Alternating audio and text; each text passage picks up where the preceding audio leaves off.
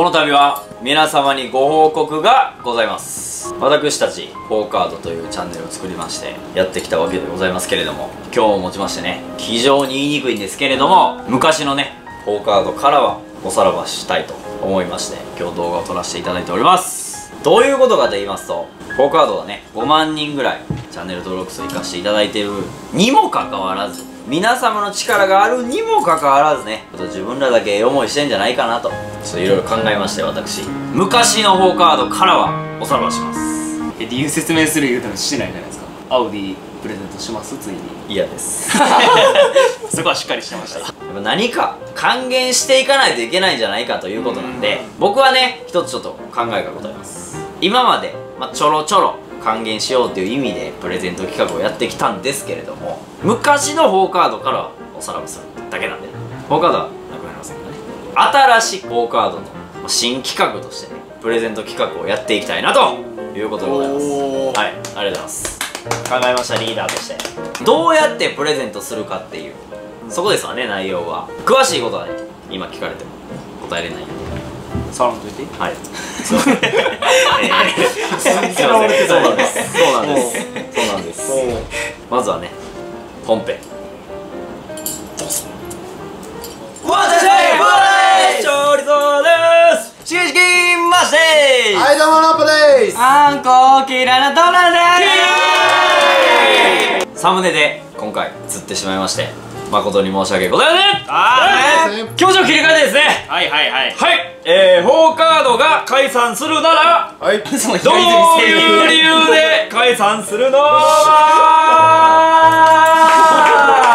あ簡単に言ったら大喜利ですね。だから今回ね4カードを、まあ、やってきてね。もし解散するなら理由は何なんだというのをちょっと大喜利でね、考えてもらって言ってほしいなと、まあ解散したら考えたくないんやけどね。まあいろいろあるやんそれをまあ大喜利で。言っちゃって、はいはい。今日はねでもあの有名なあの芸能界から片桐はいさんが来ていただいてありがとうございます。ありがとうございます。すいませんいつも。お願いします。そうで今日は一番面白いこと言うわよ。そんな声ちゃう チュリさんがなんでそれ持ってきたか分かるんですか？なんで大喜利にしたか。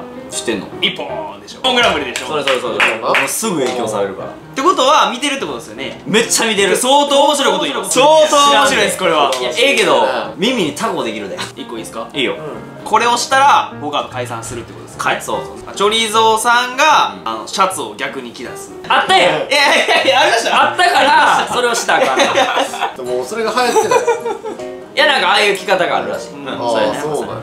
だからそこまでなんかこれ出ないっていうことがもう逆にボケみたいな感じだね。いや難しいなこれってか普通に。それも大先輩言ったってください。じゃあ弱いやつでいいですか？あ全員がマッシュと同じ髪型になる。ゼロ。ゼロ。マッシュ TV よゼロ。ゼロなんでやねん。じゃあ言ったってください。よそんだけ一本グランプリ見てて人のことあんだけ言うてあんだけ言うといてな。自分のことあげといて。さあ何言いますか？先生言ったってよほんま。メンバーの誰かが結婚したのよ。あありそうで。うん。ないやん。ありそうだありそうでないから。もうお前らななんかこうひねってんのにこうついてこれてないから一本グランプリって結構ひねってんのよ、うーん。ああなるほどみたいななんねん。ホストやから結婚なんかもうないよほぼ、うん。やのに結婚したら言うてんねんから映画一回なんだ挟んできましたああそうちょっと危ない危ない。ちょっと頼むらんなうん。うん。全員がうん。チャラ男番長とかやりだしたんですようん。解散するな。ここで一発ねちょっと新企画発表していきましょうか。よいしょ。新企画はですね当たりたいんやったらコメント書いてよとか。そこまではこの新企画も変わりません。ただし予想制にしようじゃないかっていうことなんですよね。で分かりやすく言いますよ。例えばこの動画が流れます。はい。次回予告を流します。次流す動画を。はいはいで仮にやけどもう分かりやすく言います。例えば俺とノッポがチームで A チーム。